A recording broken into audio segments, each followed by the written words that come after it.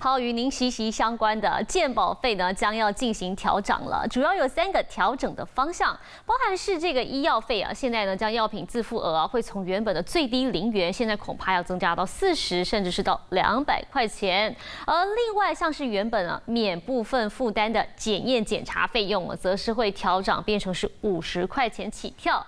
另外也会加严，这个变得更严格，就是旅外国人呢之后呢要停付保的制度。对此，医改会表示说，哎，如果说就这样贸然调涨部分的负担，恐怕会让病人为了省钱不愿意服药，会因小失大。对此，卫福部是说，目前还会再搜集各方意见，再做讨论。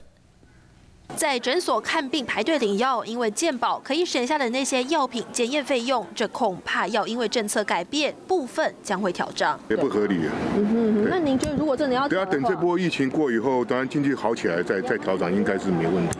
该涨是涨啊，对啦，不是说政府怎么做啊，我们就跟他们呐。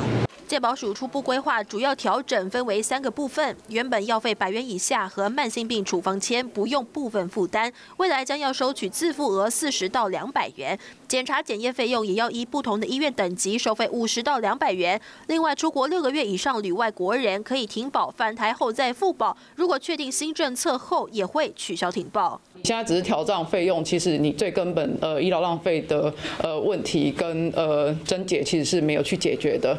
所以呃我们过往其实也有很多以以价质量的一个手段，但是其实就是成效其实都是很短期，甚至是可能不是这么的彰显的。对于健保费的调整，各界想法不一。医改会则强调，应该要加强民众卫教，才能够减少医疗能源的浪费。对此，卫福部强调，会在和各界讨论。还在健保署就实务上。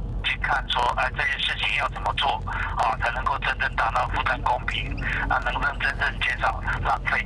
强调最终排版结果要等到三个月之后。不过，抛出鉴保费要调账的消息，还是引发各界的讨论声浪。华视新闻，万山林志纯台北报道。